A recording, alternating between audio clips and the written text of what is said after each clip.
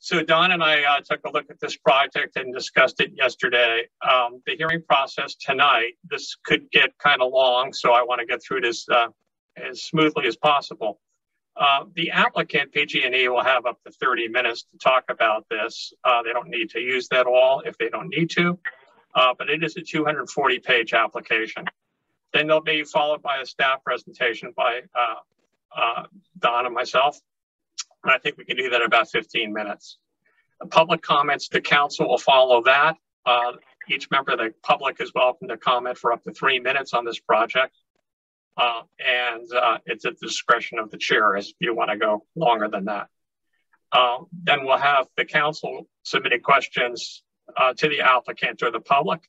And finally, we'll move on to council deliberation. So right now, screen's working here. We'll go to the PG&E presentation with Mr. Villaseñor. Um, and I'll stop sharing my screen for the moment. Mr. Villaseñor, I don't know if you uh, have visual capabilities tonight or you're just calling in.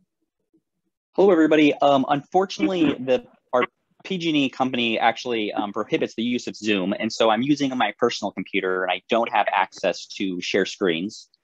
Um, but I can go over a general um, idea of what this project entails, um, and just talk at kind of a high level of what we're trying to accomplish, and as well as any of the environmental items that that we have. Um, so it's okay with this board. I'll go ahead and move forward and just briefly talk about the project. Um, as Tom, you mentioned, this is a 28 linear mile stretch of our Elk Gualala 60 kilovolt power line. Um, it is a transmission line, so it's not part of the, the distribution line. Um, it extends from Elk to Gualala um, in Mendocino County. And um, it's within the, the Mendocino County LCP, the local coastal program. And it's also within PG&E's multi-region operations and maintenance habitat conservation plan, or as we refer to it as the multi-region HCP um, which is a U.S. Fish and Wildlife 30-year permit we've obtained um, for our environmental and maintenance work throughout um, the service territory of California. So uh, what this work is, it's called, we refer to it as TVMR, which is the Transmission Vegetation Management Reliability. Um, so it includes vegetation um, work along our, our electric transmission corridor. Um, it includes removal and pruning of trees and brush um, as needed that are directly under or adjacent to the electrical lines. Um, these units oftentimes can cause power outages and um, fires if they come into contact with the lines. And therefore, as mandated by the California Public Utility Commission, PG&E must perform ongoing vegetation management of all its overhead electric distribution and transmission facilities um, in compliance with several rules and regulations. The clearance regulations um, are typically for 60 kilovolt lines is 12 feet. However, um, we oftentimes clear belong, um, we clear beyond these distances to account for growth of the facilities um, and just maintain safety and reliability so that there's no power outages along the transmission line. Um, so as part of this work, there's going to be no subsurface disturbance. Um, so no ground disturbance will occur. Um, the vegetation management activities are categorized as our routine um, right-of-way clearing um, to protect our assets from um, any kind of outage that is vegetation caused. And then where we will be removing trees and vegetation, we plan to have chippers um, available um, so that we can take the material, either dispose of it or scatter it within the area if it's not close to our chipper locations. Um, and those areas that we plan to do that are um, not to exceed 18 inches above ground. Um, of course, we instruct crews to remain vehicles on roads um, anywhere that they plan to do any vegetation management activities that are off-road um, have to be done by foot, and they are going to be using hand tools to um, do the tree trimming and vegetation uh, removal. so in addition to the equipment that we will be using, we plan to use herbicides on units that are known to regrow and um, therefore rejoin the um, potential compliance issues um, of our line. Um, and all the herbicides we use are registered by the State Department of Pesticide Regulations and approved for use by um, the EPA. Um, and so PG&E uses aquatically labeled compounds when working within riparian zones or near waters and wetlands. And in addition to that, as part of our multi-region HCP, we do provide best management practices um, to our crews to make sure that we are in compliance with the use of those um, herbicides and pesticides um, so that they are not impacting any water features. Um, as I move into the archaeological portion of this project, um, we did find that there are three culturally sensitive areas, um, but because there's no ground disturbance as proposed as part of this work, we um, are not anticipating any um, disturbances there. Um, as far as the biological component goes uh, forward, our multi-region habitat conservation plan lists several BMPs that we are planning to implement to minimize impacts to any of the, the species that um, wildlife are out there. And um, there is a silver spot butterfly that PG&E plans to do um, biological surveys where there are known occurrences for those host plants. And um, those will be scheduled and the data will come back to our team. We will assess and have the crews move forward once we have the opportunity to flag those host plants for avoidances. Um, and then there is a part of this project that does cross Highway 1 at uh, multiple lo locations. And um, we know that Highway 1 is considered a scenic highway. And we are working with the California Department um, of Transportation on obtaining permits in order to do that work within their right of way. And um, with that said, I believe that's kind of a brief summary of the project. I know I didn't use the, the full 30 minutes allotted, but um, I'll pass it back to the board here um, for any um, additional information or, or, questions that arise. Thank you, Mr. Villasenor. And um, now moving to the presentation that Don and I assembled from our information. Uh, does everybody see that screen now? Yes. UCCP yeah, yes. 2021? Okay. Yes. So uh, as Mr. Villasenor suggested. This is um, this is the project description. Here's a map of it uh, for those of you who have a computer in front of you. And it does comply with existing state and federal laws and regulations to maintain required clearances mandated by the PUC. Um, go on to my next slide. Uh, the application uh, specifically uh, cites the codes that are used in uh, to require this, including the Public Resources Code 4293, CPUC General Order 95, Rule 35, and um, another uh, Energy Commission's FAC 030102. Uh, these regulations identify specific clearances. I believe these were done as uh, minimums. Uh, and as Mr. Villasenor explained, uh, PG&E may clear beyond these distances to account for ingrowth and maintain facility safety and reliability. Um, now, down at the bottom of the screen, you'll notice there's also a, you mentioned that if chippers uh, will be used for debris when possible, if they can be brought within 100 feet of the work site. Otherwise, debris will be locked and scattered not to exceed an, 18 inches above the ground, which is permissible under the PUC uh, requirements uh, but one of the things Don and I looked at. Uh, another publication from PG&E, PG&E Currents in November 2017 went into a little bit more depth about these rules. Um, and General Order 95, Rule 35 also requires the removal of dead, diseased, defective, and dying trees that could fall into the lines. Uh, so if there's a dead tree near the lines, even if it's out of the right of way, they may want to uh, get on that. Um, the Public Resource Code 4292, um, which is administered by the California Department of Forestry, uh, talks about limbs within a 10 foot radius of the pole to be removed. Um, but it says also says all dead branches below the cross arms and within 10 feet of the radius must be removed. Uh, PRC 4293 also requires, well, that's four feet clearance for less voltage.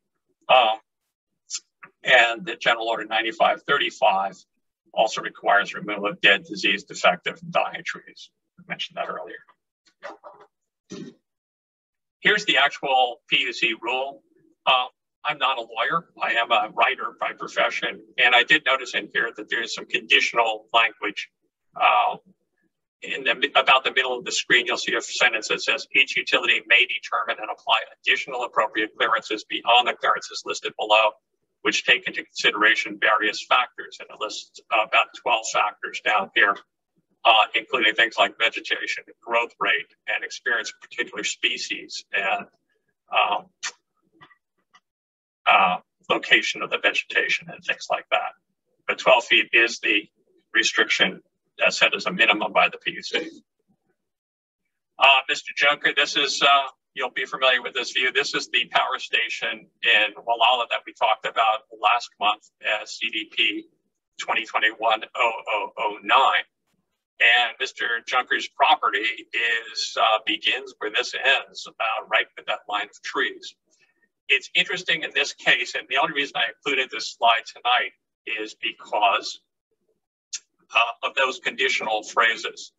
In this case, PG&E uh, sought permission from Mr. Bauer to cut the trees on the north side and obtained it. However, it was unable to obtain permission from Mr. Junker on the south side. And so it left those trees and is continuing, I think, to speak with him about that. These trees obviously are um, hanging right over the substation. And um, there is discretion for the home for the property owner to negotiate with PG&E about that. When I posted this uh, announcement of the meeting on Facebook, uh, there were a number of additional safety concerns and questions raised by the public. In all, we received 40, 57 comments the last time I looked. Um, and there was broad agreement. I think everybody on the chain agreed that trimming is necessary to reduce fire danger, especially in this crazy year and everybody seems to be aware um, that falling lines have caused fires. But there were a lot of questions about practices employed and alternatives, and I just wanted to put up a, representation of some of those. Um, this is not all of them. There were some extreme comments. Uh, people who just don't like PG&E, or perhaps they don't like anybody who questions whether or not a tree should be cut down. Uh, I left those out in favor of the more substantive uh, comments. Uh, Ms. Shattuck, who is with us tonight, I'm glad to see her here. Um, she'll be a part of this discussion, I think. She's from Fort Bragg, and Fort Bragg isn't even part of this project, but she is involved in another leg of this project from Fort Bragg down to Elk, uh, and has had some problems uh, that I think may be instructive to people down here on the Elk to Gualala end of this project. Uh, she said PG&E contractors were marking shorter redwood trees and trees more than 100 feet from the lines saying the trees could fall and grow and fall onto the lines, creating a, a large swath across her property, much larger than the ROW. Now, I want to note immediately that the Shattuck called me today and told me that she's met this morning with neighbors, uh, PG&E officials, and the contractor, and happily they worked out agreements where they will seek permission before cutting down any of those trees. But I'm going to show you a few pictures in a minute and explain, come back to Jenny. Um, a number of people talk about the slash below the trees, um, not just the average of 18 inches of debris that falls from cutting branches, but logs and uh, trees and trunks, uh, all sorts of things uh, that are gathering under the power lines. Uh, I myself am wondering about the slash uh, 18 inches deep of pine branches dried out in the sun under a power line doesn't sound like a real good idea to me, and we'll talk about that in our discussion later on. Um, Ms. Kirchner raised a question about pesticides. I think uh, Erin Kirchner is with us tonight. She can comment in the public comment period. Several people raised questions about uh, can we underground the cables or and I pointed out in the discussion on the Facebook page that PG&E actually has plans to underground 10,000 uh, miles of cables. I think I'm getting that right. Um, but that probably won't happen during the current fire season. And this is this is now, and that would be then. Um, there were also a little discussion about alternatives to having power grids like this and planning for the future instead of sustaining a system from the past. And uh, there was also a question about uh, will they obtain my permission if they go outside the ROW, the right of way, uh, which I think is a great question. And as you saw in Gualala at the power station, they did. Um, and we'll talk about that. This, I'm going to show a few pictures from uh, Ms. Shattuck provided to me the other day. Uh, she called me up and uh, we had quite a talk and she gave me about 30 pictures. I'm only going to show a few of them. Uh, this is a typical section of the power line cutting through her property down the hill. You can see the right of way is very clear. What you don't see in this photo, though, is that virtually all the trees on both sides of this right of way are marked for uh, reduction.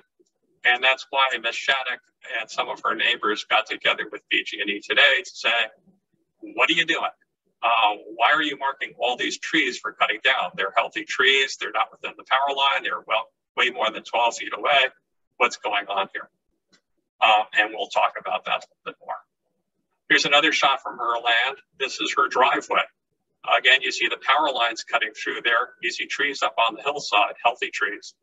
Uh, there are some firs and some redwoods in this photo. Uh, well more than, these are probably 50, 70 feet away from the power line, uh, but they're growing tall and they were also marked for removal. Here's another shot of her driveway with smaller trees along it. This is a, uh, uh, for Mr. Vias and your sake, this is a straight view of the driveway looking straight ahead with power lines directly overhead and trees on both sides. These are shorter trees, all marked for removal. And finally, uh, there's a photo of another right-of-way section where there's a fairly heavy growth on the ground. Uh, I would say it's probably doesn't get more than three feet high, and a row of trees on the far side. And again, this row of trees, uh, which is far away from the power lines, um, are marked for removal or were marked for removal uh, until today's conversation, I guess. So this is a photo I've taken of uh, Old Stage Road in Gualala. Uh, this is a typical section of what the power lines look like as they cross through Gualala on the ridge, going down to our power station next to Mr. Junker's property. Uh, you'll see that the power lines here, it's a little hard to tell exactly how far they are from the trees, but you can easily imagine a branch getting blown onto the power lines. And I would imagine that those are the kind of branches that PG&E is out to, to trim. Um, what I don't know after speaking to uh, Jenny is whether they plan to take some of these trees that are nearby because they pose a risk of falling off the lines, uh, whether they would talk to the property owner about reducing trees or taking trees, um, how those will be marked and how the property owners will be notified about those trees. I think everybody's interested in the fire safety, as we noted earlier. Um, I think a lot of people who live up on the ridge, however, would be surprised if the row of trees in front of their house were suddenly gone or were cut down. So I want to get into that discussion tonight so that people know what to expect. Here are two more shots of the power line up on Old Stage Road. Again, you can it's a little hard to judge exactly how far the lines are from the trees, but you can easily see that there's room to trim some of these trees. Uh, and in this case, on the, on the photo on the left, uh, I'm showing a photo near the intersection of Packwoods Road and Old Stage Road. And the power lines appear to be well over the fence line on the foreground. Um, which makes me question exactly where this right of way is. And is the fence in the right of way or are the power lines leaning over the fence? And what's the situation there? That's a local property owner situation, and I'll let the property owner talk to PG&E about it. But again, if PG&E were to take out those trees, I could imagine the property owner might be coming back to GMAC and saying, what happened here?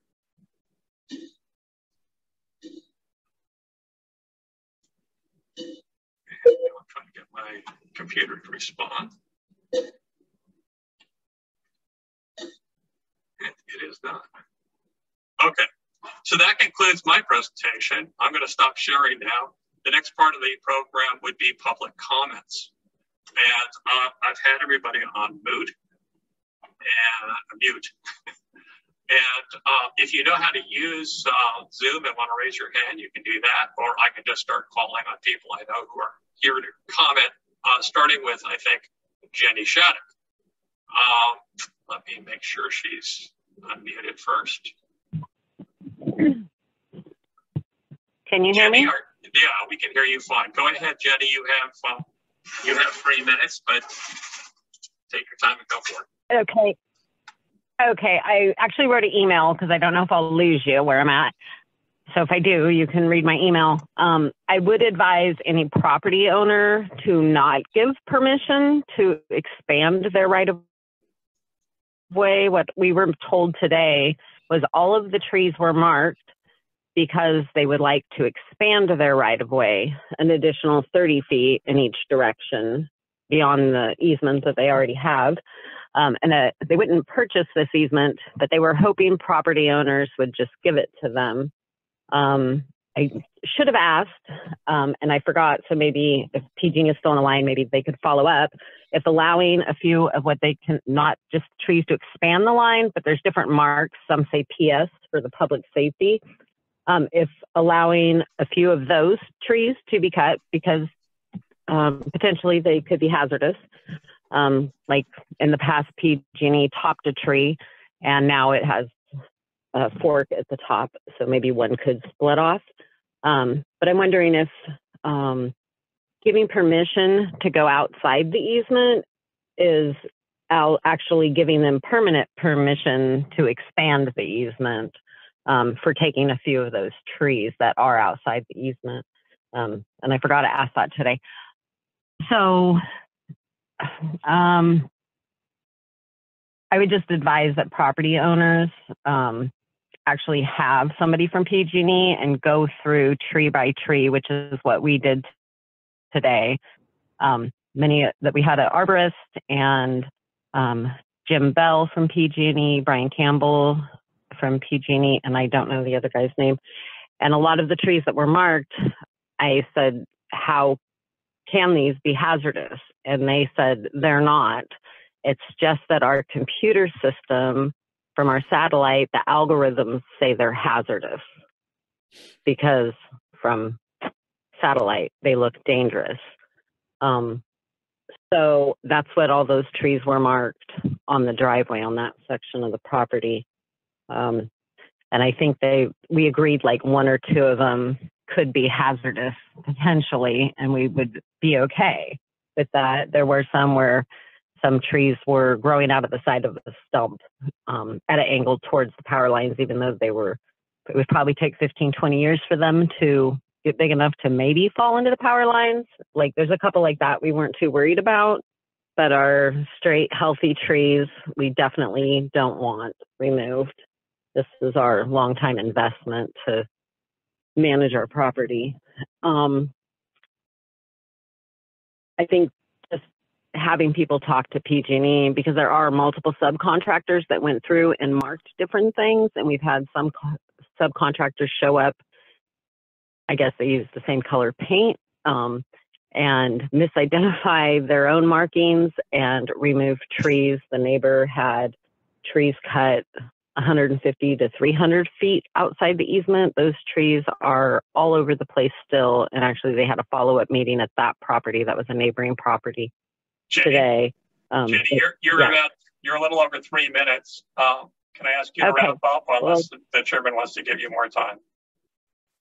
um, that's all I have to say. I'm just wishing you luck and hoping that property owners really get involved and ask questions for clarification. Thank you. Okay. Thank you very much, Jenny. I appreciate that. And we may come back to you in questions. Um, Okay. Mr. Junker, you've been waiting a month to talk to us. Would you like to say something? I think you're on mute. Would have to take yourself off.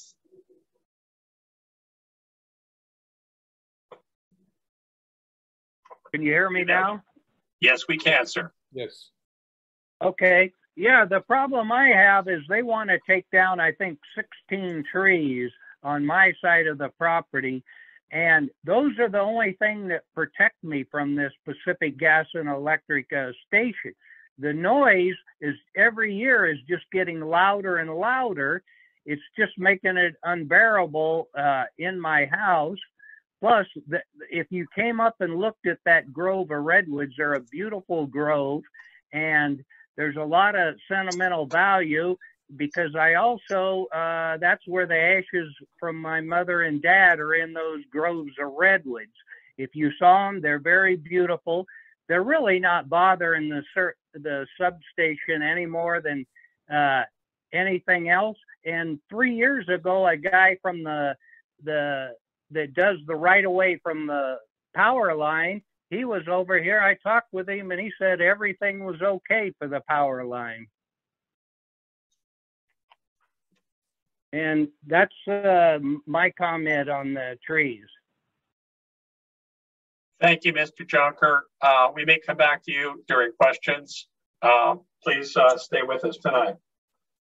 Um, next speaker. Okay. Ms. Kirchner. Uh, are you still with us tonight? Yes, you are. You'll need to unmute. Yes, I'm here. Can you hear me? Yes, we can. Okay, great. I have a little bit of a lag, so um, greetings, everyone. So yeah, I'm a property owner here along the power lines on 10 Mile and Point Arena, and um, looking at the maps and reading the proposal, I have some concerns about the uh, language around the 12 foot right of way easement and how it may get larger or smaller or change. And then hearing from the other property owners and their experiences. Um, I would like to know who we need to talk to to make an appointment with someone like a human in real time to be able to look at the property and see what is what. I do a pretty good job of maintaining already. And so I just want to verify that that's all good. And um, I have concerns about the pesticide herbicide use. Um, I've talked to multiple property owners here in the area and there's a resounding no for that. And so I would like to request an opt out option for property owners. Um, and that we can look at that and implement that and look at how that affects things. I mean, again, I'm a pretty hardy individual. I already maintain a pretty clear line, and I know that others are willing to as well. And so I'd like that to be an option. I think it's very important for us not to clog our waterways, our wells, our springs. Galloway Creek runs through my land, and so it's very important to me to steward it to the best of my ability uh, and keep it in its natural state.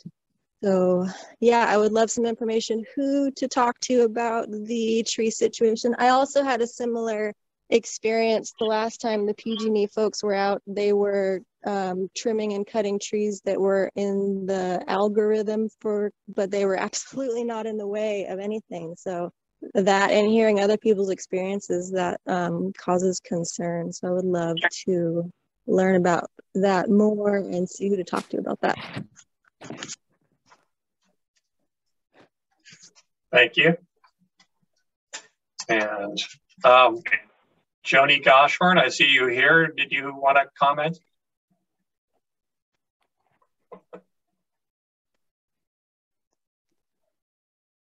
Yeah, hi, Tom. Um, I'm here with Brian. Can you hear me? Yes, we can. So I agree very much so with Erin. Um, we pretty strongly about the um, herbicides. Very much concerned about our water, which is already, you know, in drought conditions. Um, I'm mainly here to hear about the process. As you know, I'm not an actual property owner, although I live very close to one of the proposed um, lines here in Point Arena. And um, my personal experience isn't even here. It's at a previous uh, property in Petaluma. But my concern with a lot of the people who do the work with PG&E is their background and their training. And one of the gentlemen who was doing just some of the surveying, you know, his previous job was at Starbucks. So, uh, you know, I'm, I'm, it does concern me. Uh, I've seen a lot of hack jobs with the, with the tree trimming that um, are aesthetically unappealing. So that's what I have to say.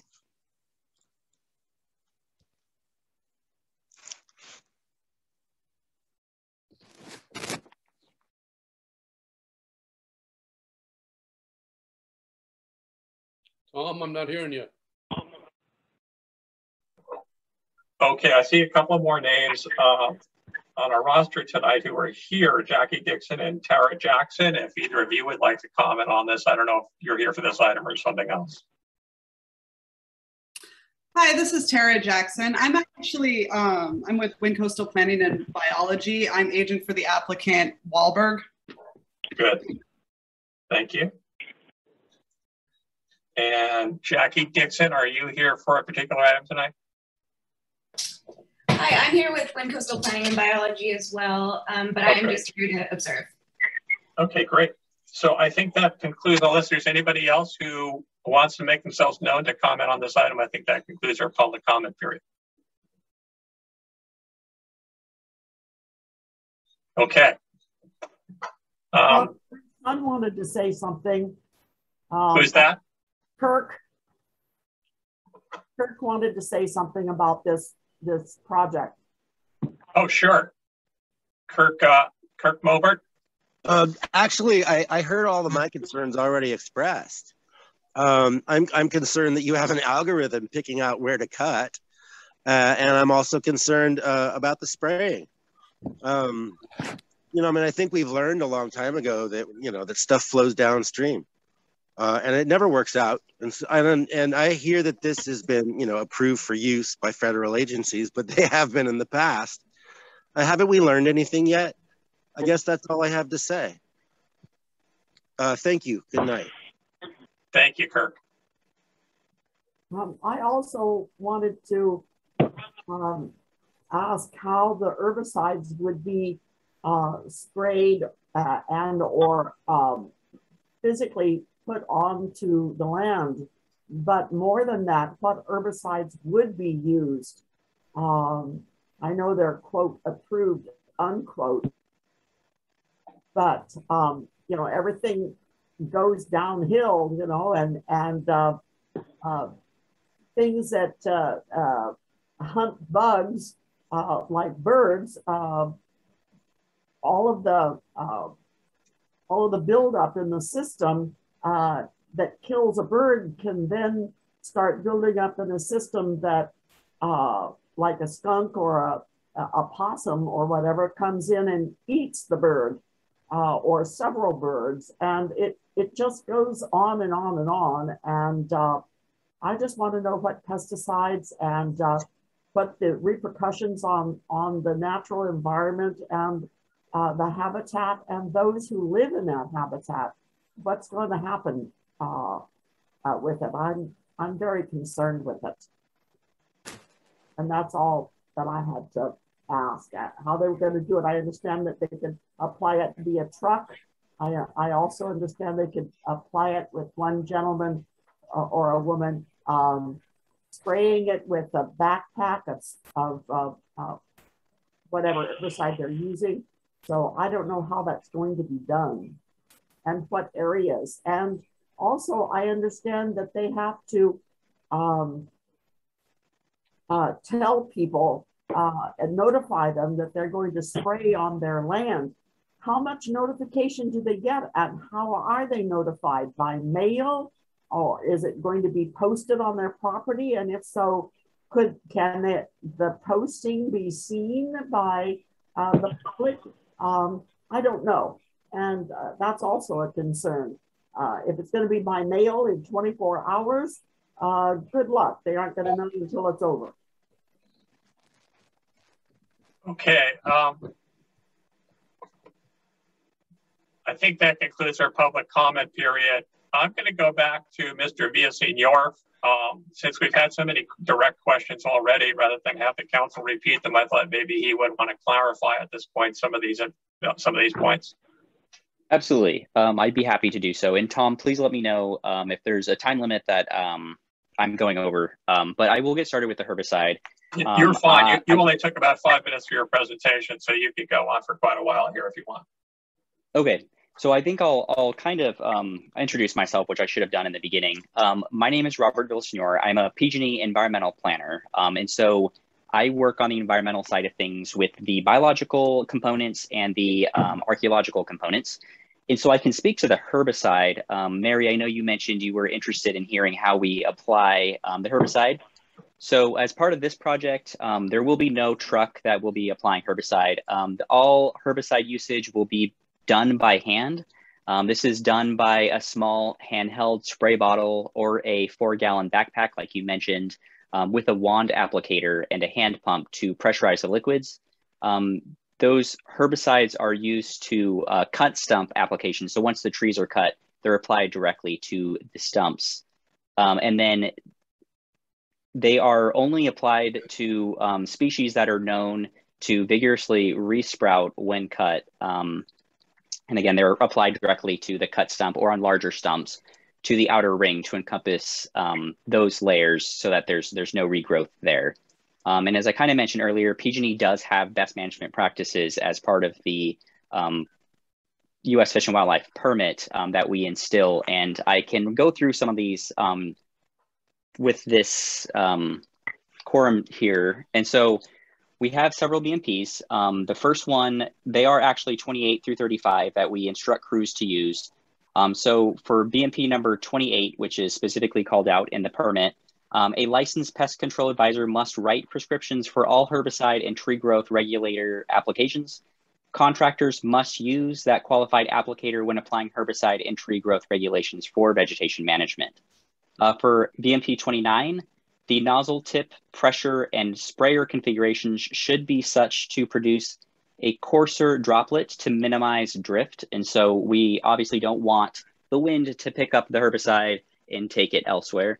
Um, for BMP 30, pesticides must not be transported in the same compartment with persons, food, or feed.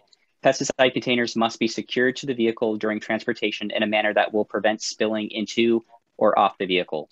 Um, so we just want to make sure that that those pesticides and herbicides are secure when traveling to and from work locations.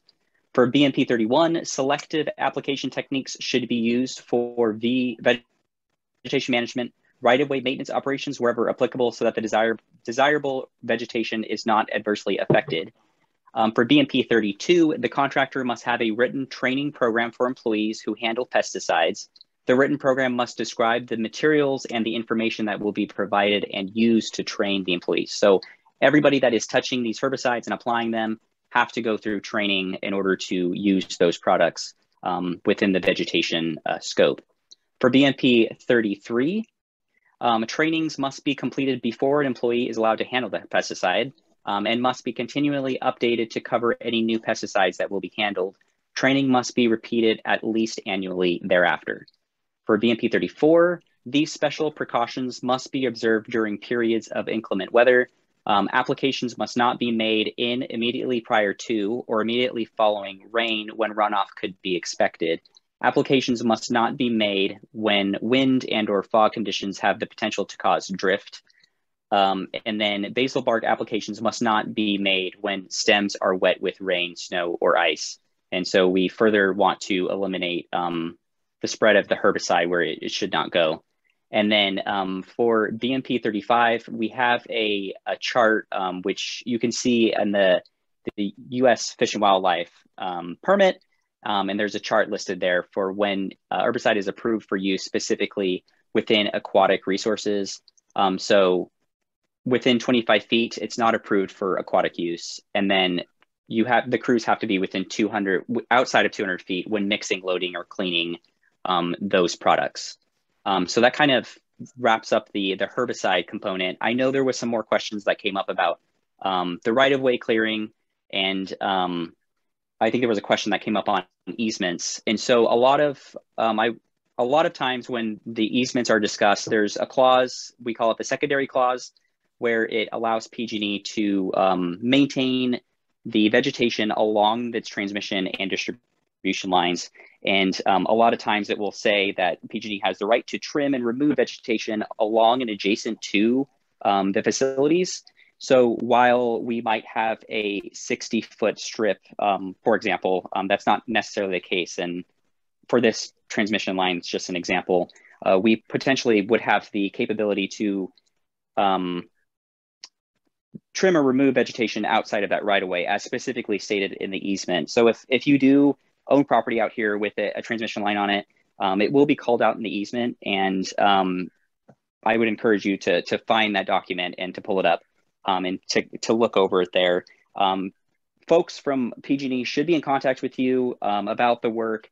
If there is anything, any questions that come up, um, you should have received a letter stating that this work will be coming up. And if you have not received that letter and you have questions, please feel free to to reach out to me. Um, I could post my email address here um, in the chat function, um, and that way it's visible to those property owners that, that have questions. And of course, I would most likely pass your information along to one of our um, vegetation management folks, like Brian Campbell, um, who met with Jenny out in the field um, to kind of meet with you in person and go over the scope of work specifically for your property and help you identify why those trees have been targeted.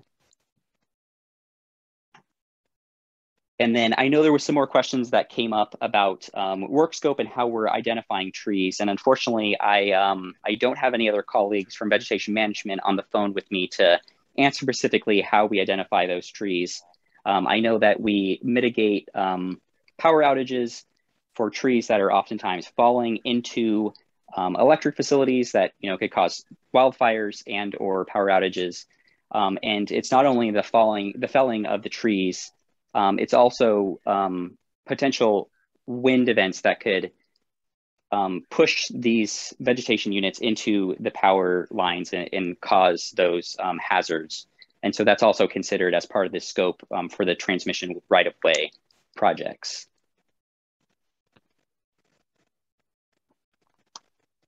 And I see, Mary, you got your hand up. Uh, yes. Um, yeah, let's let's move into the, uh, the council questions now. Mary, uh, you can ask questions first. Go ahead.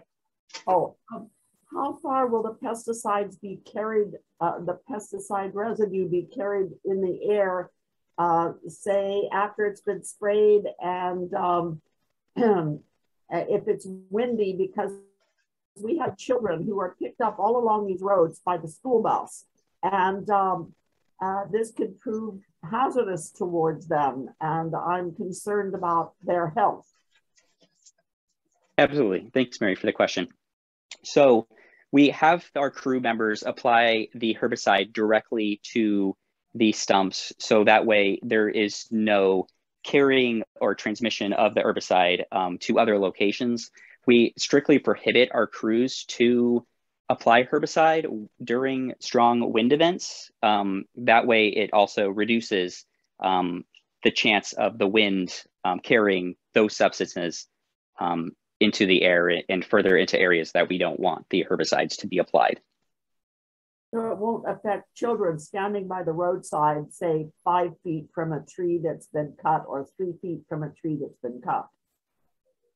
Correct. We have the crews use um, a drip method uh, for the herbicide uh, on the outer layer. And so um, there shouldn't be any airborne herbicide that um, is expelled from the equipment.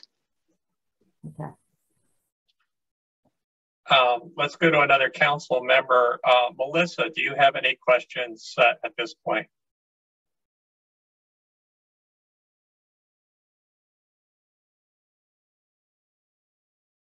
Melissa, you're still on mute.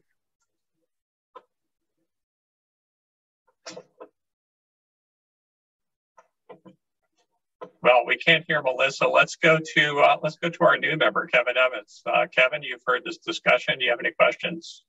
Thank you, Tom. Um, yes, I do have some questions for uh, Robert. Um, you talked about the application of herbicides and pesticides. Um, is there a practice to notify the property owners prior to the application of, of those herbicides and pesticides? That's a good question, Evan. I'm honestly not sure if those are communicated. I believe that um, in the letter that is received, it should specify what those parameters of the scope of work will be. Um, I know generally if there is a, a species of tree that is known to resprout quickly um, that could potentially be hazardous, they will apply herbicide. And so the chances of herbicide usage occurring are very likely, but um, that should be, there should be some communication going out to each property owner about the work taking place on their specific parcel. Yeah, I definitely think that the property owner should be notified before any application. How about to the public uh, in general? Will you be posting signs along the right of way uh, where there may be public traffic, people walking their dogs, or even even walk, you know, taking hikes themselves, notifying them of a spraying period? Um, that is also a good question. Um, I know we're posting signs about work happening as part of the coastal development permit process. Um, I don't believe that encompasses the herbicide usage. I think um, in order for folks to find out that we're doing that, um, they'd have to go onto the um, permit application that is listed in that posting and to find out more about the scope. Okay, is, is there any way that we can get a list of those pesticides and herbicides that you're planning on using so if any of the council members are asked, we can be better informed on that? Sure, I can make that request over to our licensed pest control advisor and um, get a list of what we typically use in this vicinity.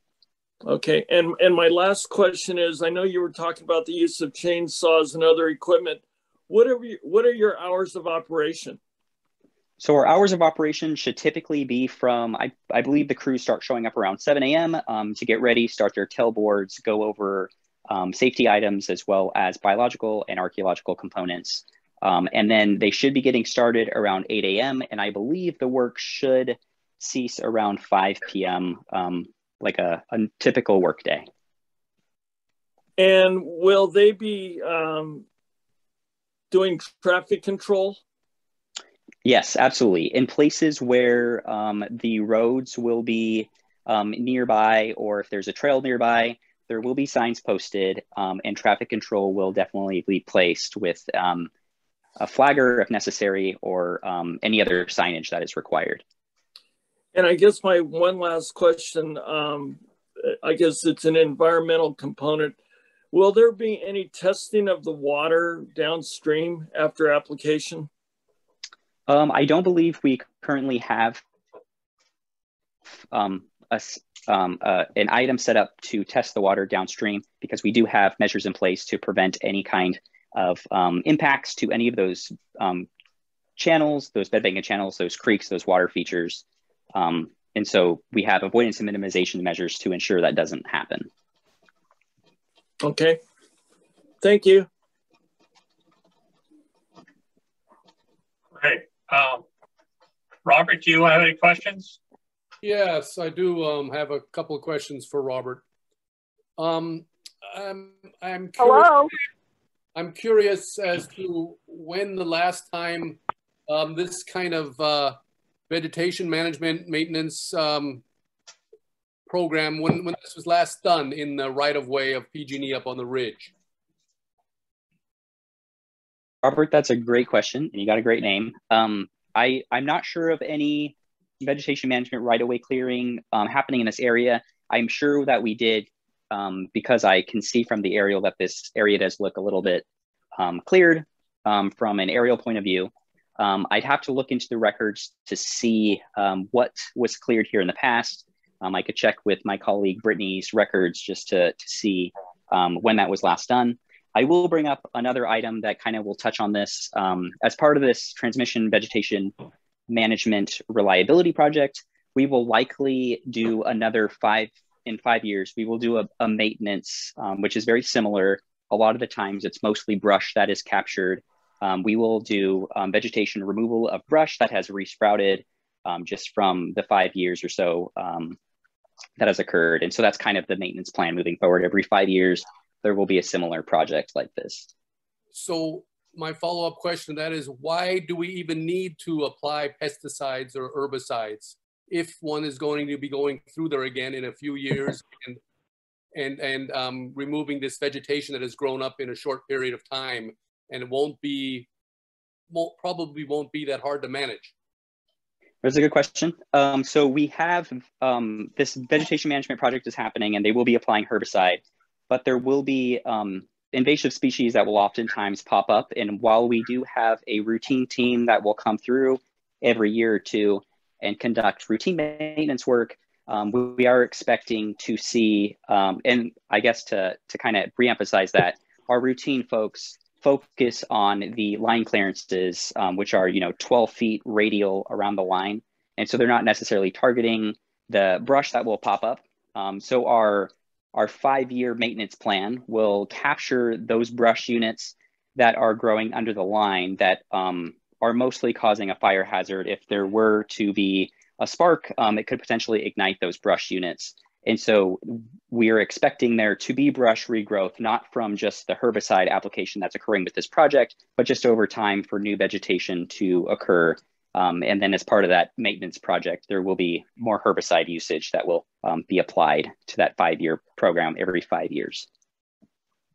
Um, yeah, it's just a shame that we even have to use the uh, the herbicides and and, and herbicides uh, um, when we're going through these areas. Anyway, I've um, been up here for 35 years, and I've sold a lot of property that are along these easements and growths. Um, and I've seen over the years that there has been some maintenance, um, but it doesn't seem like uh, enough has been done over all the years. And I, I just don't feel that we need to do all this um, whole in, in, invasive type of um, rigorous type of um, herbicide uh, application when we could really be going through and just maintaining it regularly and um, not having to, uh, it, it, seems like wherever we as mankind uh, become too involved with nature, um, that's where the invasive type of uh, um, species come come in. And um, if we could just restrict it to uh, reducing the, the, the, the, brush and, and the things that grow up in PG&Es right away, we'd be better off. Understood. I made a note here to take that back to my team. Okay, thanks, Robert. Is that it, uh, Robert? That's it for me. Okay, Don Hess. Yeah. Um, first of all, I want to say that uh, I think this work is very. Can you hear me? Uh, we we we asked called you, Melissa. We'll come back to you right after Don. I keep on muting and getting ignored. We'll be right with you, um, right, Melissa, do you want to go first? And Don, do you you mind waiting? Yeah, go ahead. Let Melissa go. That's all right. Okay. Go ahead, Melissa. Since you've already tried to get me. Anyway, I there's one thing that has bothered me. I drive up to Point Arena fairly frequently, and there are trees right below the, the power line right of way, right in the power line right of way, right below the line, that have been hacked at to the point that they're so ugly. I can't help but wonder why not just cut them down and stop having to hack at them and it would it would definitely improve the aesthetics of the view. Understood. Thanks for the question, Melissa. Um, I'm I'm honestly not familiar with this area or if it's being encompassed by this um, vegetation management project. Um, if it is, uh, I I do think those trees will be removed. There are um, some that, are, that look like goalposts. and they should be straight. Gotcha. Okay, understood. Um, so in in the case that it's kind of outside this project scope, I know that our routine team goes and um, they trim and remove trees in a way that is mitigating the um, clearances and hazards that are within that 12 um, foot in diameter radial clearance. Um, and sometimes it will leave trees like that that might not look um, presentable and then oftentimes we we might leave those trees unless we feel that they're um, going to die from the the type of work that we're conducting, whether it's an extensive trim or um, like a 50% removal. Um, and so that's kind of determined that way. Um, and you said what area was this, Melissa? I could look more into this location. Walla Point Arena. There are there are several places where there are some hideously ugly trees that it would look better if it were just cut down. Melissa, I believe you're talking about Highway 1, and that is not where the power line is in this case. Ah, my my mistake. Oh, and a clarification. I'm very glad to hear that um, you do stump dressage of the herbicide because that is the only way to use it because it, that it, that avoids that avoids getting drops in the air If, and and I'm hoping that you do not do. It sounds like you're saying you don't spray foliage, just dribble stumps. Is this true? That is correct. Oh, that is the only, and I am hate, hate, hating on the use of herbicides, but that is the only use for herbicides by by someone who's trained in how to use them. And then, and I'm glad to hear that. Yeah, of course. And then, Melissa, I just want to provide one clarification. Um, it sounds like the trees that you um, you notice that aren't very presentable are located maybe along Highway One. And sometimes when we work with Caltrans, yeah. they actually request that we leave some of the trees intact sometimes because if we remove some trees, it, it creates a safety hazard. Um, so oftentimes when we are presenting them with a scope um, and they want us to change that prescription, um, we will if it if it would be you know half removal of the tree and it doesn't look very good. There have been on the other side of things um, cases where they have asked us to remove trees because they don't look appealing, um, especially in scenic corridors, which we also have done. Oh, good, because this is a very scenic corridor, and those are some extremely ugly trees. Noted. I will definitely take that back, especially along a scenic corridor. Um, I'll look into that. Thank you, sir. All right, are we ready for Don now? Yeah. Yep, I'm through. Thank you. Sorry, I should have said so. I'm falling asleep. Thanks, Melissa. Don't fall asleep. We need you to vote. Don? Okay. Um, well, as I was starting to say, um, number one, I, I, do think this is very important work that needs to get done. Um, needs to get done all over the state. And because uh, some of this work is not done on a timely manner in the past, that has that has created hazards that have led to fires. We all know that. So the work needs to be done. The question is, how is it done? And will it be done in a manner that uh, minimizes any disturbance to uh, habitat uh, and uh, the, the health of the forest uh, through which this right-of-way runs.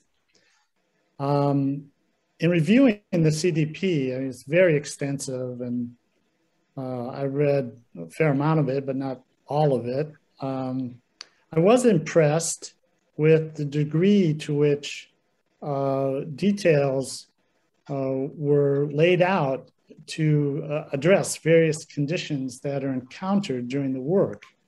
Uh, for example, if a, a, nest for an endangered species is, is uh, uncovered or run into, that might be in the way of the project. And a biologist is called, uh, for example, to determine what, what could be done or what should be done to protect uh, that area from any uh, damage. Uh, things like that um, that really go on page after page. So I, I was impressed with that. I mean, it looks it looks good, you know, when you read it on paper everything that PG&E is going to do, make sure that things are not disturbed or disrupted too much during this work. I guess my concern is, uh, what are the checks? I mean, who is there to really determine how well uh, these protocols are followed, especially given the comment of uh, one of the women who uh, called in today uh, who mentioned that she was talking to somebody who was working on one of these crews, and they said, well, their last job was at Starbucks. So, you know, that just raises the question how well trained are the crew members? And bear in mind, uh, at least this is my understanding, that uh, these crews are predominantly contracted by PG&E. So they are not direct uh, PG&E employees. They are contractors hired to do this, this kind of work. So uh, I would like some explanation from uh, Robert, please, of PG&E, of how this work is monitored to ensure that those very detailed protocols that are laid out in this CDP are actually followed? Great question, Don. Um, so to tackle the, the first question about um, our inspectors, um, the ones I've seen on projects are always certified um, foresters, and they're the ones that are out there doing the inspections of the trees, determining if they're hazards, um, finding out what species, height, DBH they are, and then ultimately submitting that back to my team for approval. In these sensitive areas where there are biological and cultural resource aspects, um, they are submitted directly to my team. We have a little army of archaeologists and biologists that come together, review these packages, and will provide them with an environmental release, which has protocols that they must follow. Um, in those areas that are that are sensitive, we will oftentimes prescribe um, a biological monitor, an archaeological monitor, um, to accompany crews to make sure that we're in compliance and protecting those resources. Um, I know sometimes it's not always feasible for us to, to provide a monitor at every single um, location, but we do have um, um, our US Fish and Wildlife Service permit um, for the multi-region HCP and crews are required to go through annual trainings that talk about our, our nest review process, what to do if they encounter a cultural resource, if they encounter an endangered species or just any species, um, they're given instructions on what to, to do. And as an example for that, if we do have an inspector that goes out in the field or a crew member that is getting ready to perform work and they find a nest, um, they are required to send it to our biological team. We have a mailbox specifically for the purpose of sending photographs, um, a Latin long, the tree species, and other detailed information, which sends it right to a biologist. They review um, the nest, um, the photos, and they will send out a person to inspect it um, to determine if the nest is active, inactive, and then they will release that unit back to the tree. Um, in the meantime, we will place buffers on that tree to make sure that crews are not working um, units within that radius, um, depending on what species we think it is, whether it's a raptor or things like that nature. But we do have protocols in place, some trainings in place for the crews to follow. Um, and if they do run into something, they are instructed to call us immediately. And where those locations are sensitive, then we will have a monitor on site. We oftentimes will do surveys before crews arrive um, just to make sure that they're avoiding any resources that are out there. I hope that answers your question. Yeah, for the most part. Um, so basically, these monitors uh, are are they PG&E employees themselves or are they contractors as well? Uh, they are contractors as well. Oh, they are. Okay. Um, I know, for example, we've used um, a lot of different uh, contract companies from environmental resource management or ERM to Stantec um, and a bunch of other firms, depending on the regions that we're in. Okay, but they are engaged by PG&E, not not not any other type of independent third party for example. The other Correct. question I have is, you know, does the CPUC get involved in this at all in terms of monitoring the work you're doing? Yeah, um, absolutely. It's another good question. Uh, we do have uh, federal monitors that will pick and choose um, locations, projects, um, and they will arrange a meeting to go over the scope and watch crews perform it. Um, it's very, um, I don't want to say random, but they they do have uh, federal monitors that go out there and they do watch PG&E perform work at certain projects and locations. What about the county? Does the county get involved at all in this or not? Um, the county typically um, will get involved if there's an encroachment permit, if work is happening along a franchise or a, um, a public right of way um, and a permit's needed. Um, I know a lot of times some inspectors will, will come out there and take a look at projects. And then of course, whenever um, we're located within the coastal zone. We always engage the county um, to determine um, the requirements for a CDP or a coastal development permit or anything to that extent. But um, I think that's the extent we work with the county. Okay, and on another matter, uh, you say that you would use the herbicides on uh, tree trunks um, or stumps, you know, from trees that you cut because you cut the tree because it's determined to be a potential hazard, but only on stumps that have a potential to grow back quickly. So are we talking about uh, redwood trees here and perhaps uh, eucalyptus? I mean, what other species that you would apply this herbicide to? Right. I could get a list um, of species um, to this council um, to review. Um, I don't believe that redwoods are on the list. I could be wrong. Eucalyptus are definitely on the list um, for herbicide use because they are probably one of the fastest growing species. But um, I don't have the list off the top of my head, but I could definitely provide those species that we do apply herbicide. Okay, well, I for one am, am rather in favor of herbicide use on eucalyptus since it's non-native tree and it basically kills everything that tries to grow underneath it. But uh, some of the other trees, I, you know, I may not be in favor of that, but I understand your protocol.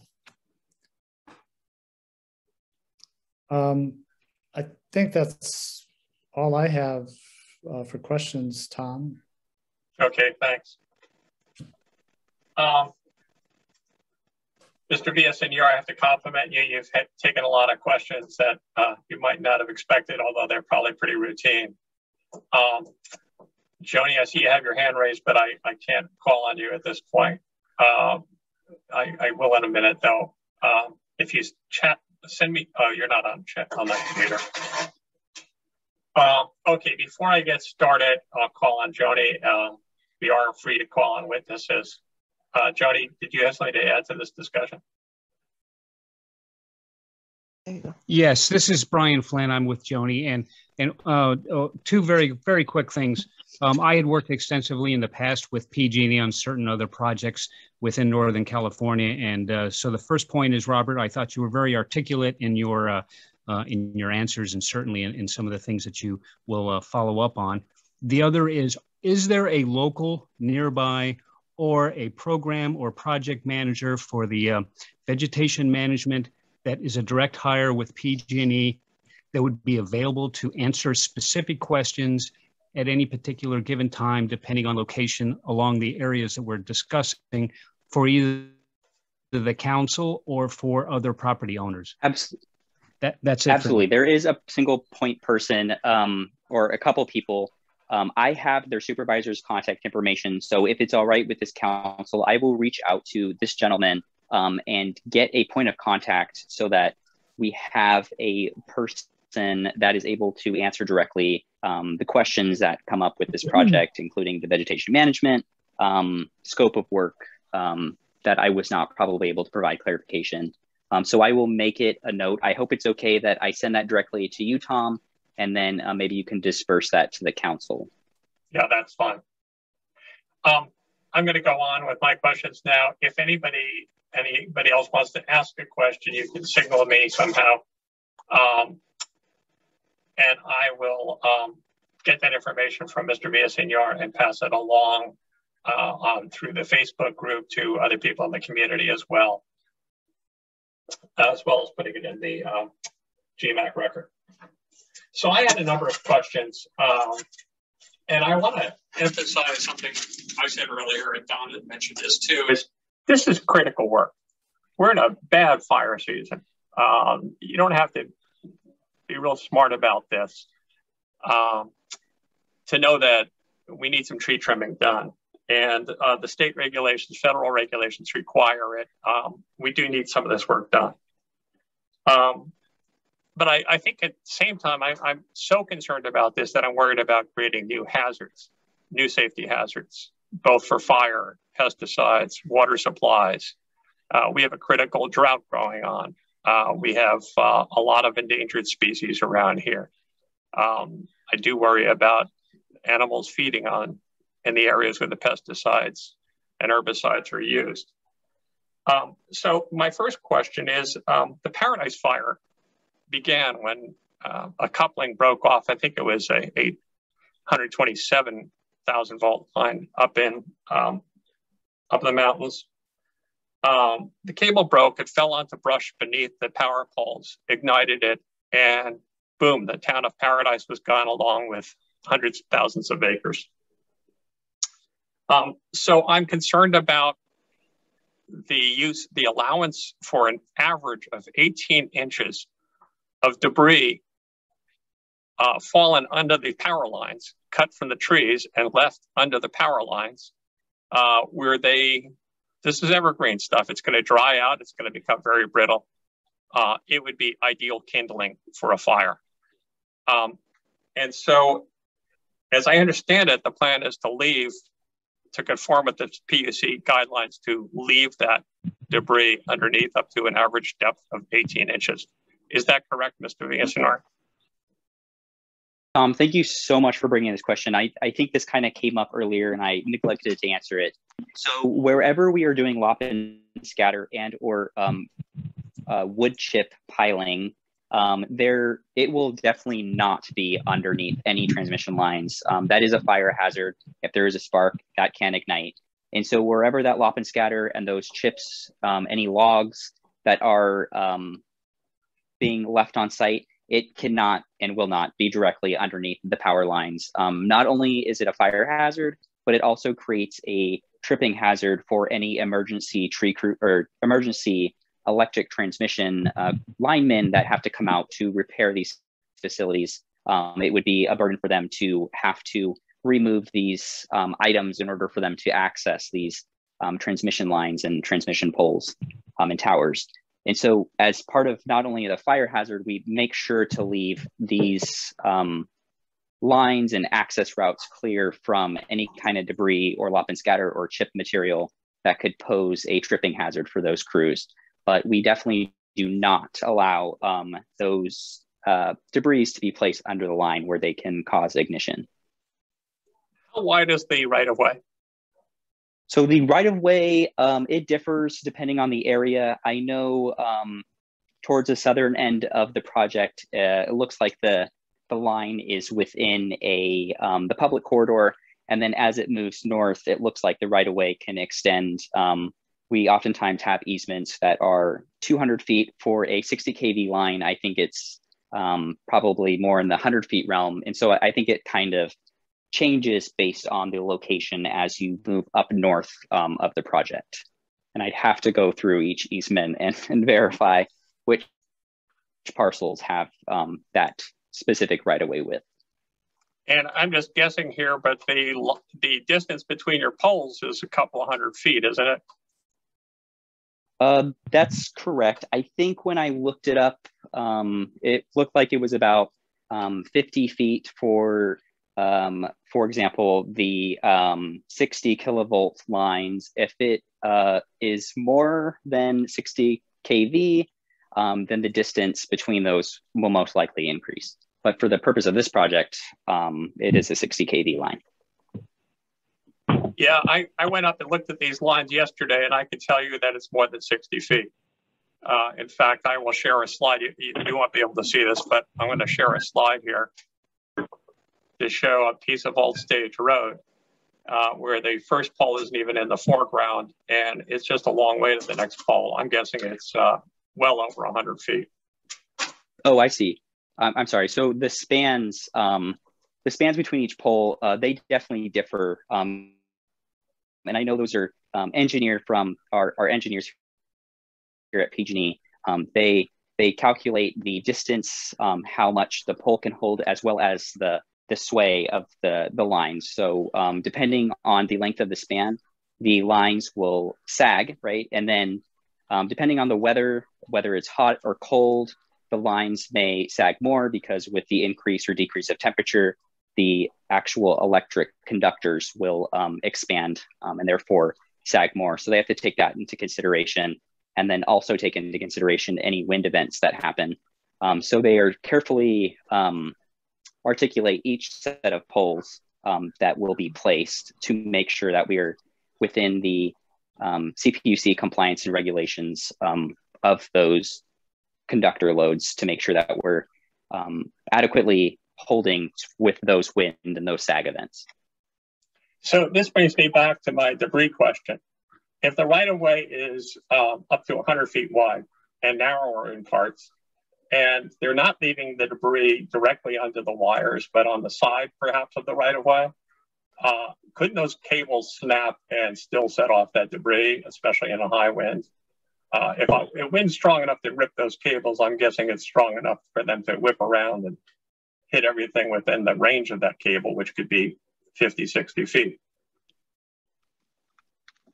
That's that's correct. Um, I I know they take into consideration um, the engineers take into consideration the right of way for those um, electric lines. Um, the vegetation management folks just make sure that the those debris are not located under the lines. They might be placed on the side um, where, in the event that there is a break in the line, um, those are are hopefully placed in, in a safe manner. Um, but I know those transmission towers are, are pretty tall and it would probably require us to off haul everything um, to make sure that we're inside of that compliance, um, those compliances. The, the, requirements allow you to leave up to 18 inches there on average. They could be three feet in one area and zero in another. Um, so I hope you'd go beyond the compliance there. Um, Understood. The, the next question I have is uh, regarding opt-out rights for pesticides and tree cutting. Um, I, I personally am not satisfied with the notion that somebody's got to go and read the 240 page application to find out what's in this plan uh, and get a letter that they may not know that their trees have already been marked to be re- re- taken away, um, that PG&E may be considering an expansion of the easement. Um, and I'm going to, um, I, I'm wondering if if you plan to go to each property owner, I know that's hundreds of property owners along the course of this line, uh, and ask those questions. Are, are you willing to go along with this and get some written permission for those things? So that's a that's a good question. Um, I think what I can do is I'll talk to our, our customer representatives. I know they do send out letters. Um, I think it. I I'm not sure if they're in planning to do outreach to every single individual um, but we can definitely have um, a more broader conversation with folks to let them know about this transmission um, clearing project. Um, and then as part of that, um, what I was to say, um, so I can touch base with them to make sure that just the awareness is, is out there and to make sure that we are communicating that to um, folks out in the vicinity. And then in, in regards to the the expansion of the right of way. Um, I know that if they are planning to extend the right of way from a, a like a um, a land survey or like a meets and bounds area to expand from maybe let's say 60 to 80 feet, then that has to be um, formally documented in the form of an easement. Um, if they're they're saying that the widening of the right of way is for the vegetation management, um, it still is within that easement um, boundary limits unless there's that vegetation clause that allows us to um, move outside of that um, easement right away with. Um, and then if that's the case, again, these property owners should be told that we're doing vegetation management work within their property. Okay. But because, oh, but because of we have an easement, um, I know we would most likely consult with the property owners um, and and get their opinions and um, work with them to do what they want. But I think getting written approval um, most likely maybe wouldn't happen because we do have the right to maintain vegetation within the right of way. But we would definitely be willing to work with them um, and their concerns about herbicide usage as well as expanding um, right of ways. I, I, have one more question, or one or two more questions for you uh, and then I'll move on. Um, pesticides and surface water. A lot of the property owners along the path of this use well water or even spring water on their land. Um, spraying pesticides or herbicides onto tree stumps is fine until it rains. It runs into a gully, it runs down into the surface water. Uh, I, am not really satisfied with the explanations I've heard here, and I, I did hear questions about the opt-out uh, option on pesticides. Uh, can people opt out of having pesticides on their property? Uh, that's that's a good question, Tom. Um, that would have to be a question for our vegetation management partners. I'm I'm honestly not sure about an opt out. I'm um, I, I can't accurately answer that question, unfortunately. Okay. That, and your vegetation management partners are the contractors who'd be applying the pesticides. Is that correct? Correct. Because um, I'm with the environmental side, um, and I'd have to loop them in um, to find out what their procedures are with the property owners for herbicide application. All right, big question here. Um, when's all this work going to take place? Uh, you know, I think I think Mrs. Shattuck uh, was speaking earlier. She she was surprised to see her trees marked, um, and I think a lot of people were surprised to hear this project's even planned. When when is this all going to be happening along this 28 mile stretch? Uh, good question. We um, identified this scope um, in 2019 towards um, the end of 2019. Um, we started preparing um, from an environmental perspective uh, later in 2020, and um, we are putting together this application.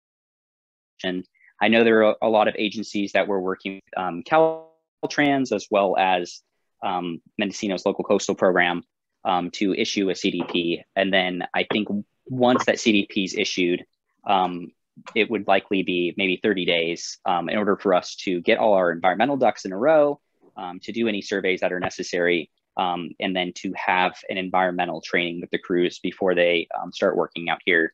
Um, so I, I think once the this the coastal development permit is issued, it would probably be at least 30 days um, from that period that we would start working in this area. Any and I know when that would be coming before the uh, the commission on that. Um, that's a good question. Uh, I'm not sure. I know that we were planning to hopefully start um, doing this vegetation work um, in late October. Um, so if the Mendocino Local Coastal Program does approve this permit uh, for us, we would most likely try to target um, the end of October since this is a, um, a we call it a wildfire tier two area, which is a high fire threat area. Okay, and uh, one other question. Uh, Mr. Evans raised the question about use of chainsaws and the hours they'd be used. Uh, everybody around here has been encouraged not to use chainsaws in afternoon because of the high winds that pick up in the afternoon. Um, has that been considered a factor in this project? So um, another good question. We have, um, in the event that there, there's a a very strong um, weather event where there's going to be um, a lot of heat, we oftentimes will have crews stand down. They're not allowed to use chainsaws or mechanical equipment that could ignite a fire. Um, and that's the same case mm. for maybe a strong wind event that would happen with an intense heat. Um, they would they would have to stand down with use of chainsaws and only use hand tools that are not um, gas powered. Um, and so in events like that, we would definitely not have them use gas powered equipment. Um, and then once those weather activities go back to normal, they would resume the use of chainsaws and things of that nature. Well, let me let me just say, and anybody on this call that disagrees could, could let you know, but that's pretty much a daily event here. Uh, we get strong north and northwest winds almost every afternoon, unless the wind happens to be blowing from the other direction um, a major wind event. Um, I don't know. I, I, think 20 to 40 mile per hour winds in the afternoons uh, up on the ridge uh, would be a hazard. So I, I, would just clue you in on that. Uh, it's something that people here will be thinking about since we're not we're not allowed to use a weed whacker afternoon around here. Um, Understood. I think that um, concludes my questions for you, sir. But I do have a question if with Jenny, Jenny Shattuck, if she's still with us. I'm here. Jenny, do you Can have you any comments? Yes, I do hear you. Um, and I, I just wanted to give you a chance uh, to comment on any aspect of this pesticides, right of ways, fire dangers. And I, I also want appreciate if you just say in a sentence or two, uh, it's my understanding your family has been around this area for 100 years and that you're involved in the logging industry. Is that correct? Yeah, so we actually own a logging company. So it's kind of funny when the subcontractors called us uh, tree hugging liberals that hated uh, killing trees. So that was kind of funny. But um, yeah, I actually have more questions after hearing um, what was said about the um, vegetation management um, I'm. I'm going to ask you to just comment on what, what you've heard here, Jenny, just in the in the sake of brevity. Uh, if you could just did you did you Um, hear? Are you satisfied with these explanations? Are you satisfied with the answers? Was there something we skipped over that we need to talk about? Um, I wouldn't, I, I don't know how to put this. I'm wondering if the vegetation management and environmental review is different for down there than it is along the 60 KVs coming over Highway 20, because the sprayers on Highway 20 use back pumps and they literally spray from one end of the easement with their sprayers to the other. And in those photos that you had posted, I can't see them right now, looking down the power lines, it is completely dead. And it's been that way since 2016 when they sprayed that property after they were told they couldn't. Um, nothing's grown back but some scotch broom and pampas grass, which were never there before. It was just huckleberries, ferns, and irises. Um, so they do spray. It seems to be imazapyr, Garlon 3A, and glyphosate mixed together in tanks. And that's what they've done across the entire 60 kV on Highway 20. So I'm wondering if they have a different practice for this section. Mr. That would be my that, that does that that would be your area, area Mr. Villasenor. Do did I hear her say that you use glyphosate in this? Uh, I believe um, the herbicide they use is yeah they mixture with Garlon three, and then um, they do mix herbicides. Um, I have to dig into that situation there. That um, I honestly am not familiar with that project, but I, I'd have to touch base with the team to find out um, what exactly happened in 2016 in that area. All right. Well, Thank you this very is much. also currently, it's also happening currently across the 60 KVs today and all week and all year with that mixture being sprayed with hand sprayers, not drips. Understood. thanks. Okay. Thank you, Ms. Shattuck, for that information. Um, yeah, I was going to ask Robert, you have a question?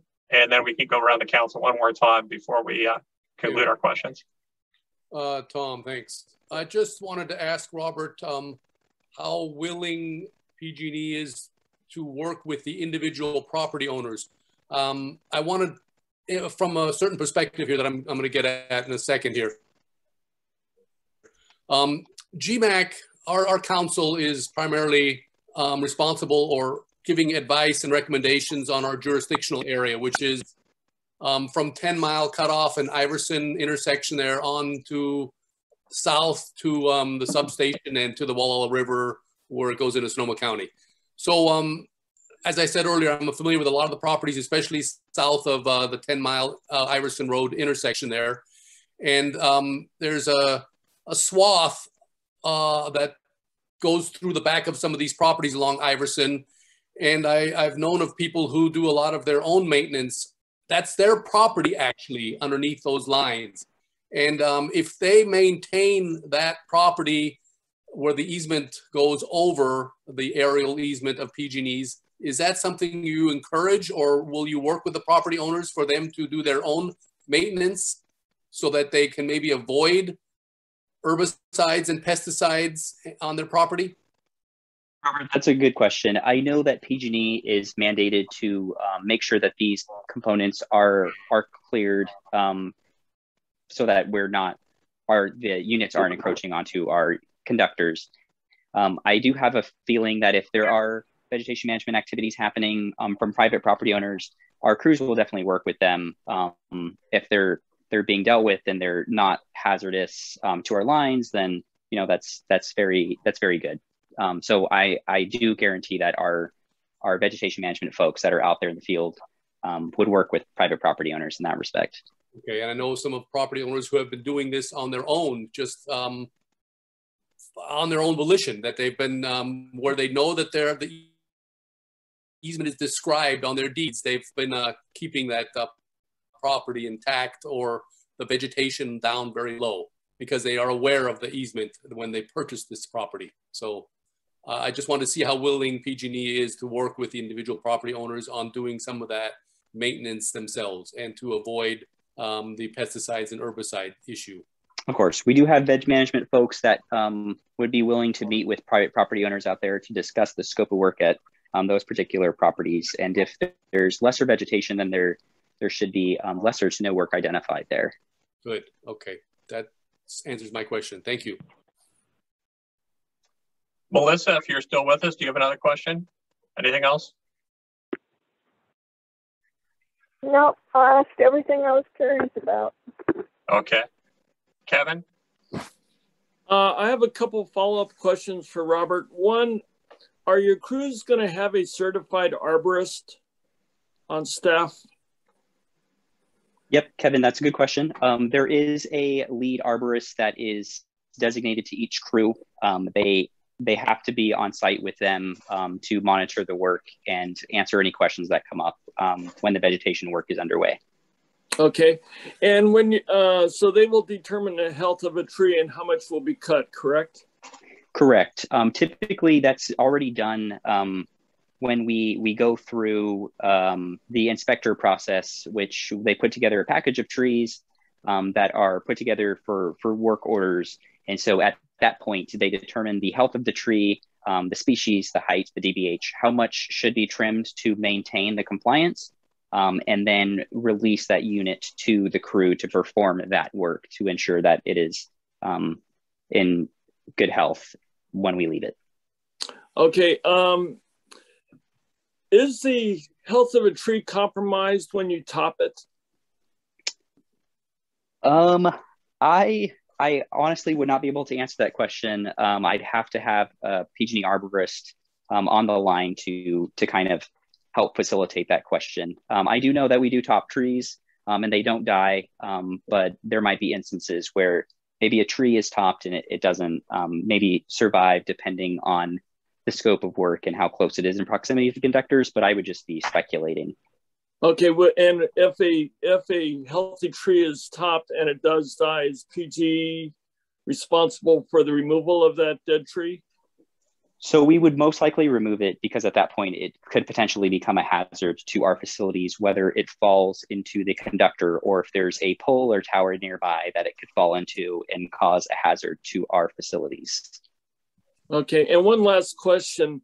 Uh, is stump grinding out of out of the question? Is that cost prohibitive?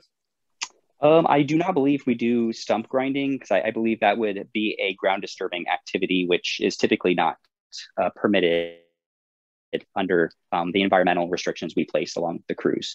Okay. Thank you. Thank you. Don, do you want to have any other questions? Yeah, just so one last question. Um, this has to do with sort of the global look of our uh, region and its fire risk in terms of these transmission lines in the forests that they traverse. Um, what is the time frame for this type of work, this vegetation management work, for the other uh, high voltage transmission line that comes into Gualala from the south. That obviously passes mostly through Sonoma County, but once it crosses the Gualala River, then it's in Mendocino County. And um, again, this is, is a heavily forested area. So I'm just curious what the time frame is for vegetation management work on that portion of your transmission system?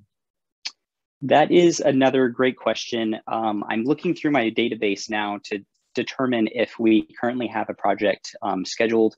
I know sometimes we have a um, designated projects that we we kind of foresee with this type of right of way clearing um, that will occur. Um, and there's probably a handful of projects that happen every year. Um, and this one just happens to be in Mendocino County, whereas maybe down the road we'll will have a project in Sonoma County. Um, I don't think that Brittany or I have any projects identified in Sonoma County this year, but there is a possibility that they might determine this maybe the same line um, will undergo um, a similar project um, in 2022 or 2023 or 2024.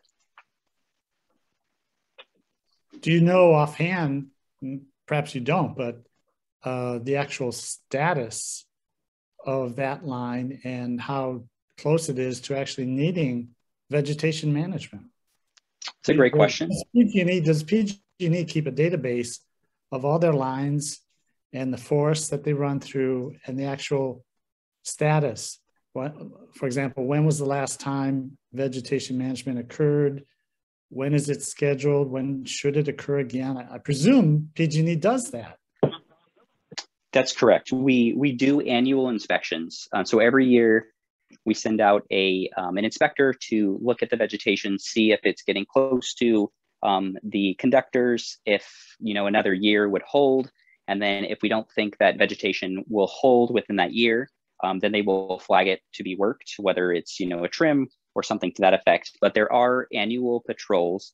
Um, we do also use lidar detection, um, which is you know from the aerial that goes down and determines um, what risks those trees are to our, our assets, which you know happens occasionally. But um, there definitely is routine inspections.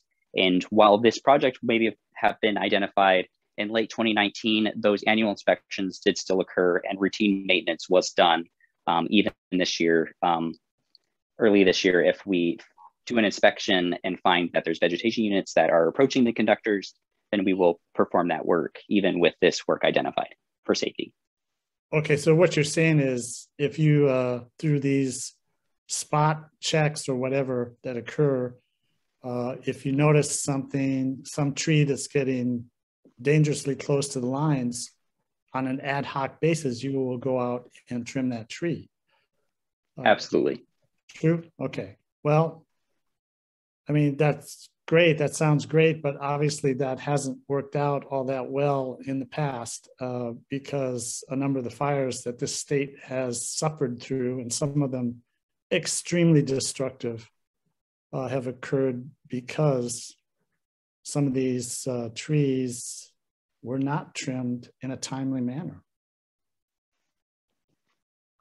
That is a good point. I, I do know that sometimes um, the fires, the wildfires that occurred um, due to PG&E, um, either occurred via equipment faultation or um, recently there may have been a tree that had fallen into the line.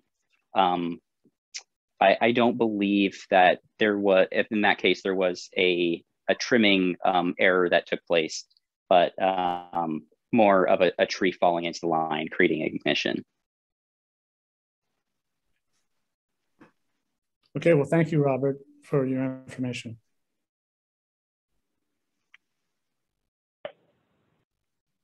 I just have a couple more questions. Um, wrap this up. Um, redwood has become very valuable, and some of these other trees could be valuable as well. Uh, if a tree is taken um, who gets the tree? Does it stay on the property? Does the property owner have it? Does the contractor, if the contractor removes it, is it their property? Do they sell it? Does PG&E profit from it? How does that work? Another great question. So um, the tree, if a redwood tree is removed, it becomes the property of the property owner that is, you know, sometimes merchantable wood. And so we would leave that for the property owner um, to, to do as they wish. Um, PG&E is by no means a timber harvest company. Um, we do not profit from the wood and debris that we remove um, for, for our lines. Um, if we do that, then we kind of get under new regulations. And so we're just in the business of um, electricity and gas. And so as part of that, we, we don't um, sell or hold on to, to timber or lumber for sales purposes. And what about the contractors? Uh, they should definitely not be um, keeping or selling the wood either. Okay, I, I hear should, but I'm not hearing they don't. Right. Well, they they I would I want to say that they they they don't. You're right. They they don't. They should not be um, keeping the wood as stewards of PG&E. That um, shouldn't happen. Again, I don't I don't work with the vegetation management folks, um, but I'd have to get them on here to say for certain that doesn't happen. Um, I guess I'm, what I'm trying to say is that our stance is that contractors aren't going to take that wood and sell it. That is not um, something that PG&E would allow. Okay, I, I hope not. Um, obviously that would create a perverse incentive, as it's known. Uh, perverse incentive is when there's a bad reason to do something that may not be readily apparent, um, such as taking more trees than are necessary.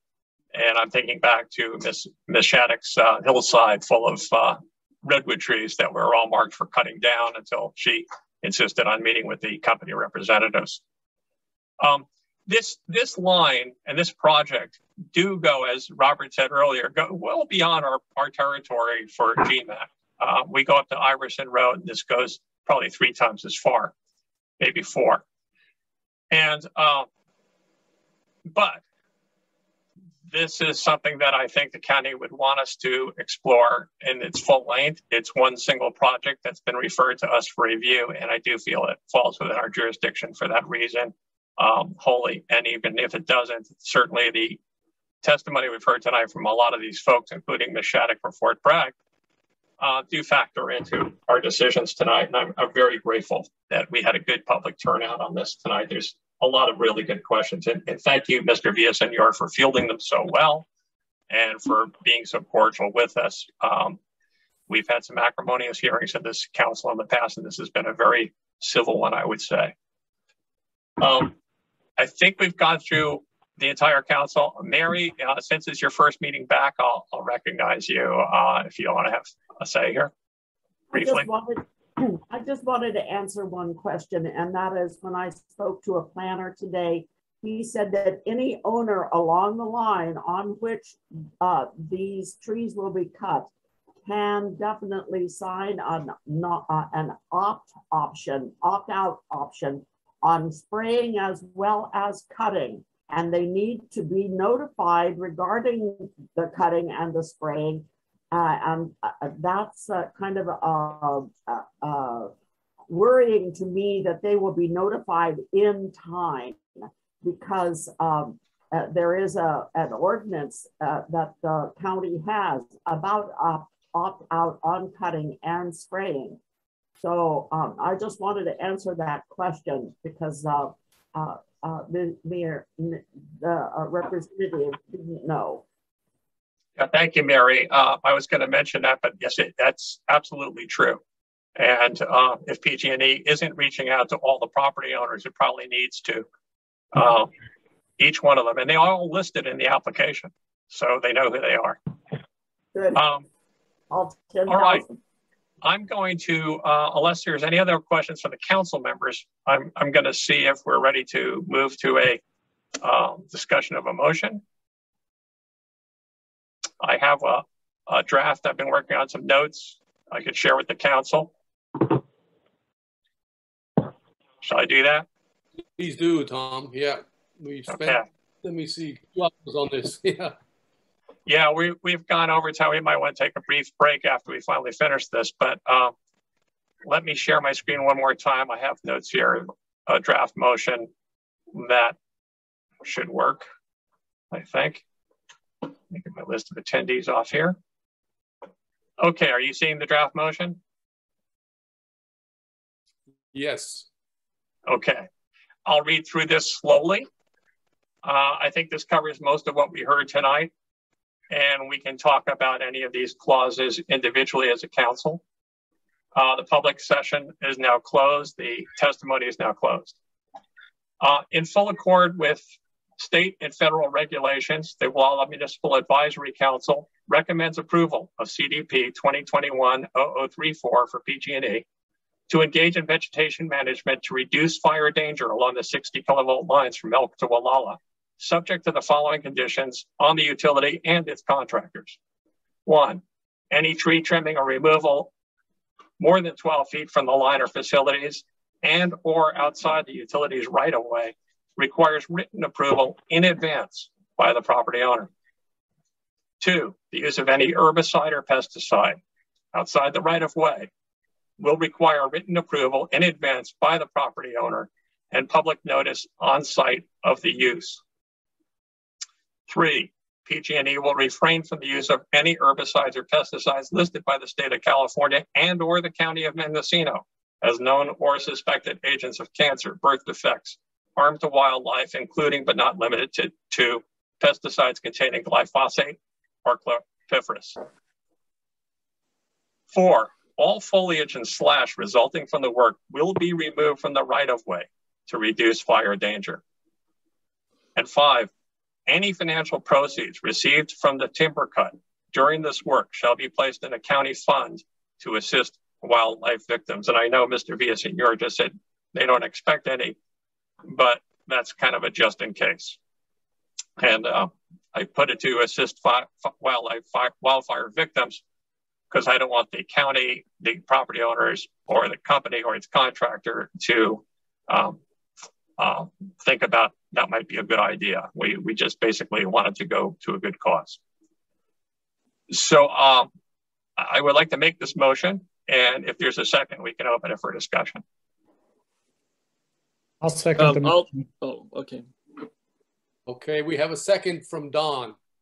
Okay. And we can open it up for further discussion now. Who would like to comment? I'll start. Tom? Yeah. Um, I'm, I think it's an excellent motion. I'm very satisfied with the first two points, which were going to be things that I brought up in the event we didn't have a draft motion yet. And then I like the other three points also. Um, if there was some way we, we could work out something with the property owner working with PG&E on going outside of the right of way, that that would be a possibility. But I am fine. I like the motion, um, especially number one and two. Okay, do any of the council members on number two, I have to use of herbicide pesticide outside the right of way will require written approval. Should that also be, should we take out the outside the right of way and just say the use of any herbicide or pesticide on private property will require Yeah, I written would- I would- Yeah, I would feel more comfortable with that, that any use of herbicide and pesticides, the property owners should be notified and the public notice as well. Yeah. So instead of outside, what about within, Tom? Within what? Within the Within right the of way. right of way? Yeah. Well, I'm thinking about what might happen outside the right of way, but let's try that.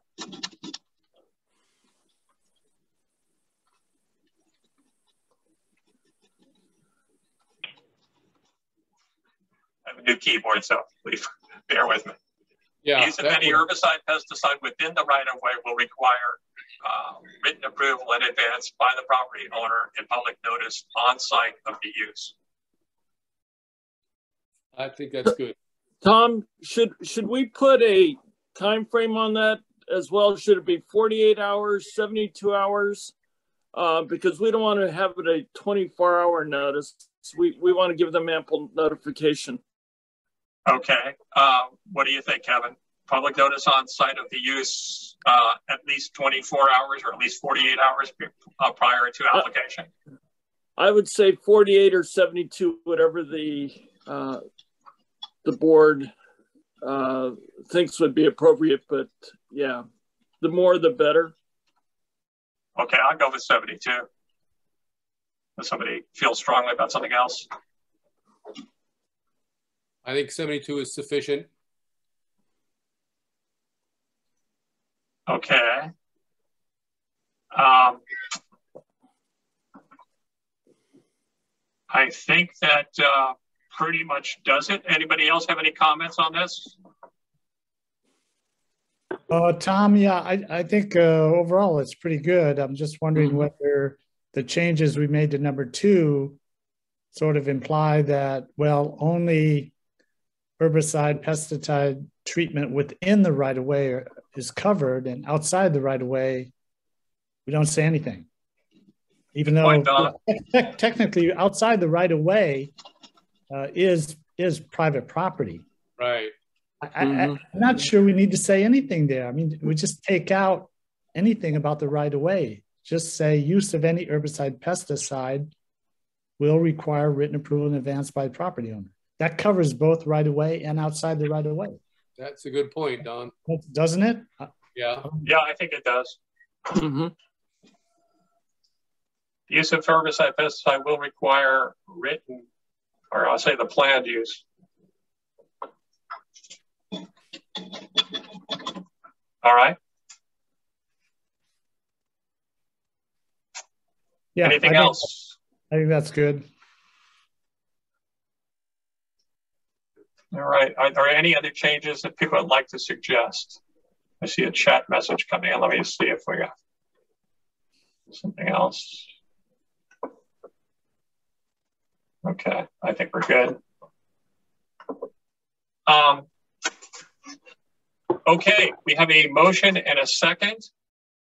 Um, do we need a new motion since we amended this a little? I guess we do. I'll withdraw my initial motion and um, make a new motion to approve um,